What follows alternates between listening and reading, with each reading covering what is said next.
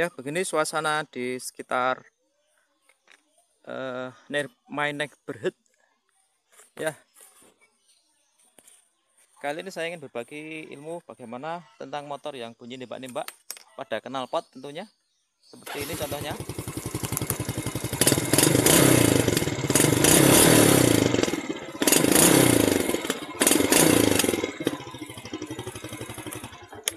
Bagaimana knalpot ini bisa nembak-nembak ketika dilorot?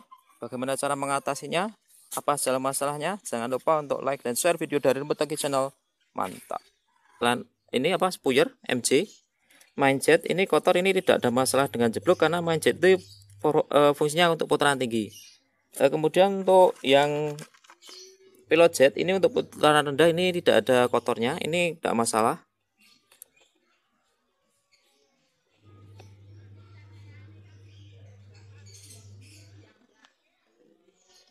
Ini tidak ada masalah ini. E, jadi apalagi kerak di sini sama sekali bukan masalah yang bikin jeblok.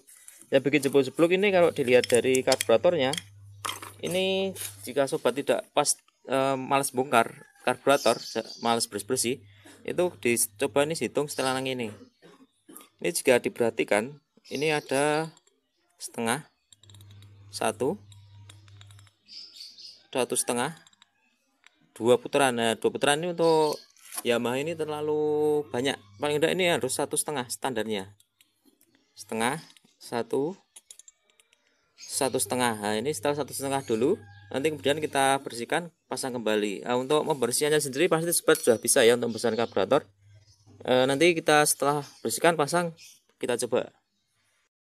Ketika sobat menemui motor yang nembak-nembak pasti harus ngecek busi dulu di mana busi itu mengindikasikan dari campuran bahan bakar dari warna businya tersebut.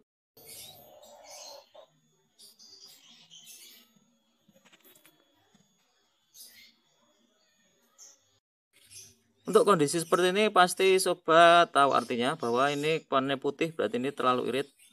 Jadi karena iritnya itu menyebabkan e, campurannya tidak stabil jadi dia nembak-nembak uh, untuk solusinya ini di setel agak boros sedikit.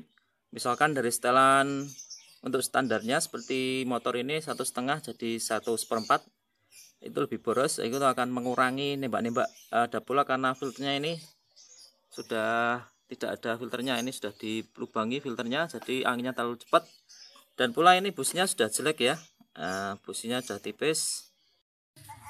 Dalam untuk busnya ini pakai sama U22 FSU sama persis dengan yang ini ya. Untuk Yamaha biasanya U22 ini. Ini tinggal dipasang saja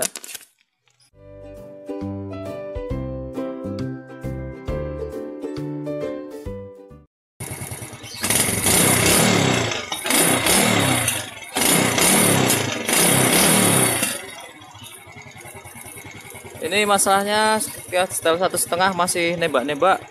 Eh, kita berspekulasi ada kerusakan pada bagian SASS itu pada bagian yang mengolah udara pada knalpot biar lebih friendly lebih ramah lingkungan dengan cara menambah angin bersih melalui lubang ini. Bekerja sesuai dengan vakuman ini tapi kondisi di stasioner seharusnya ini tidak uh, tidak berfungsi ini masih berfungsi bisa dicek dengan cara menutup lubang ini. Maka terasa vakum. Jadi dia nyedot terus. Pada kondisi stasioner. Berarti ini membrannya sudah rusak. Nah untuk menangani seperti ini maka kita nanti tutup.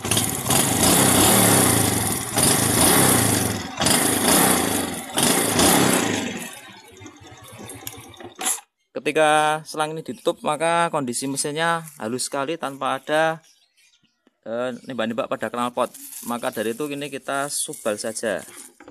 Subal bahasa Indonesia nih disumbati. Disumbat.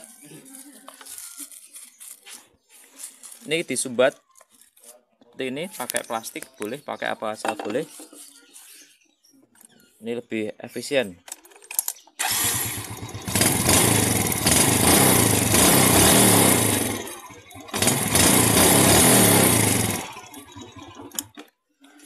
Jadi nembak tersebut terjadi karena campuran ini ada udara bersih kemudian dia terbakar dalam knalpot.